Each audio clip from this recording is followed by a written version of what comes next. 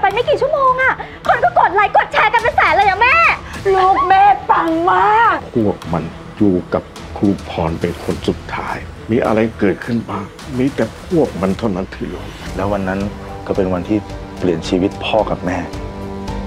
โป่งลางฮักออนซอนนทุกวันจันทร์ถึงศุกร์19นาฬิกา ดูทีวีกด